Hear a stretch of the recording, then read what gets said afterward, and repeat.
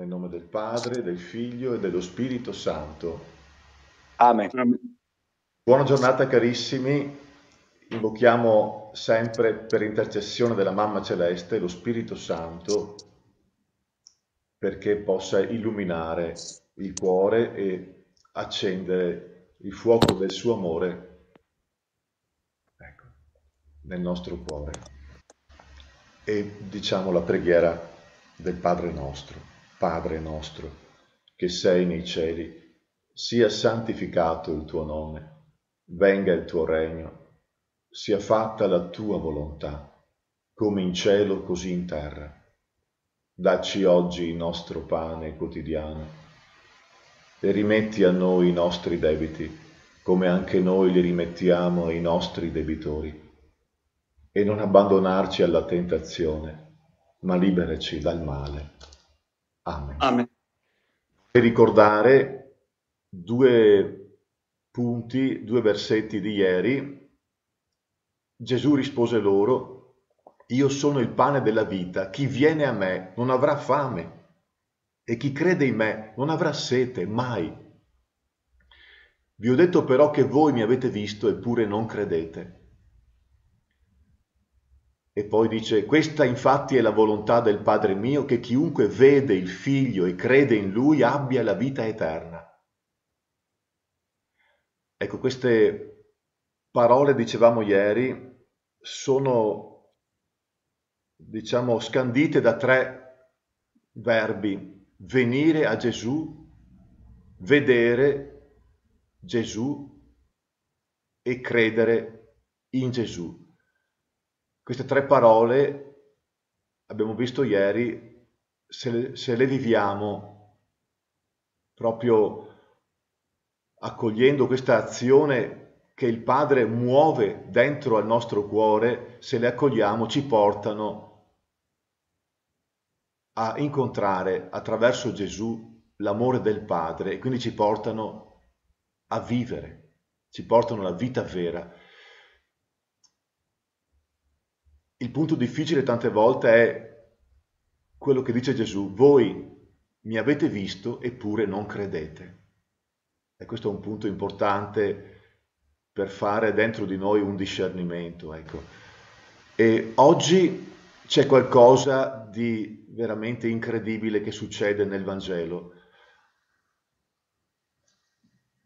Sembrava che fosse sufficiente venire da Gesù, vedere e credere in Lui per nutrirsi di Lui, per non avere più fame. Sì, diceva questo, però oggi introduce qualcosa di nuovo, di inaudito. E ascoltiamolo allora dalla voce di Carlo. Dal Vangelo secondo Giovanni. In quel tempo disse Gesù alla folla Nessuno può venire a me se non lo attira il Padre che mi ha mandato. E io lo risusciterò nell'ultimo giorno. Sta scritto nei profeti. E tutti saranno istruiti da Dio. Chiunque ha ascoltato il Padre e ha imparato da lui, viene a me. Non perché qualcuno abbia visto il Padre. Solo colui che viene da Dio ha visto il Padre. In verità, in verità, io vi dico, chi crede alla vita eterna. Io sono il pane della vita. I vostri padri hanno mangiato la manna nel deserto e sono morti. Questo è il pane che discende dal cielo, perché chi ne mangia non muoia. Io sono il pane vivo, disceso dal cielo. Se uno mangia di questo pane, vivrà in eterno. E il pane che io gli darò è la mia carne per la vita del mondo. Parola del Signore. Lode a te, o oh Cristo. Questa volta penso sia necessario proprio prendere quasi versetto per versetto il Vangelo per entrare dentro e che cosa possiamo notare come sintesi? Che il venire, vedere, credere viene ripreso anche oggi e viene messo in evidenza il ruolo del padre in tutto questo. E poi alla fine si aggiunge la novità assoluta che questo venire, vedere, credere può essere vissuto con un gesto molto materiale e che è scandaloso, pensato nei confronti di Dio, mangiare. Ecco, allora veniamo allora ai, ai versetti. Dice, nessuno può venire a me se non lo attira il Padre che mi ha mandato. E io lo risusciterò nell'ultimo giorno. Sta scritto nei profeti, e tutti saranno istruiti da Dio. Chiunque ha ascoltato il Padre ha imparato e ha imparato da Lui, viene a me. È meraviglioso vedere che sì, c'è il figlio che agisce, ma dietro c'è il Padre che sta agendo. E sta agendo in maniera meravigliosa perché lui è veramente papà, è veramente padre, è veramente nei confronti di tutta la creazione si sente la volontà di soccorrerla, di salvarla. Ecco, questo padre muove tutto, da dietro le file, da dietro le quinte, come muove tutto. E, e quindi anche è colui che mette in movimento il singolo uomo o donna, facendoli sentire il, l'attrazione verso Gesù. Che cosa è questa forza di attrazione? È qualcosa che non possiamo definire o descrivere, è qualcosa di misterioso, qualcosa che si può soltanto ascoltare nel cuore, laddove anche il Padre può parlare. E questa forza attira verso Gesù, è il Padre che mette in atto questa attrazione, ricordiamocelo. Continua, non perché qualcuno abbia visto il Padre, solo colui che viene da Dio ha visto il Padre. Quindi il Padre possiamo ascoltarlo nel cuore, ma solo ascoltarlo, perché solo il figlio che è alla presenza del Padre e lo vede quindi a faccia a faccia può rivelarci il suo volto con la propria umanità visibile, Gesù ci mostra il volto invisibile del Padre. E aggiunge, in verità, in verità io vi dico, chi crede ha la vita eterna. E allora che cosa vuol dire questa frase? Chi crede alla vita eterna? Vuol dire che se io accolgo il volto di Dio Padre che Gesù mi rivela e che spesso è così diverso da quelle immagini di Dio che io mi sono fatto. Se mi apro a questo volto vero, ricevo gioia, sento la pienezza di vita, sento di risorgere. Sì, perché il volto che avevo, che avevo prima in mente mi rendeva schiavo. E a volte, diciamolo, potrebbe succedere una cosa tristissima, quando il mio cuore è chiuso allora di fronte a quello che Gesù mi mostra rimango scandalizzato perché preferisco un volto falso di Dio che legittimi i miei privilegi, le mie convinzioni sbagliate. Questa è una cosa tremenda ma che a volte succede. Ecco, continua poi, io sono il pane della vita. I vostri padri hanno mangiato la manna nel deserto e sono morti. Questo è il pane che discende dal cielo perché chi ne mangia non muoia. Ecco, qui c'è la parola scandalosa, mangiare. Mangiare Gesù. Ecco, potrebbe sembrare forse un mangiare figurato, perché dice io sono il pane che discende dal cielo, perché chi ne mangia non muoia. Potremmo pensare un mangiare in senso figurato, ma poi la frase successiva toglie ogni dubbio io sono il pane vivo, disceso dal cielo, se uno mangia di questo pane vivrà in eterno.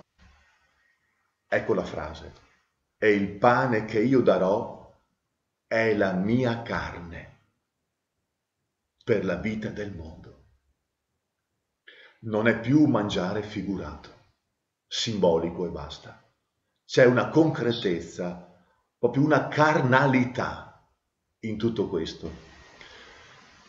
Quindi qui Gesù scende proprio giù al nostro livello, usa proprio la sua umanità concreta, la sua carne per venirci incontro, fa una operazione impensabile.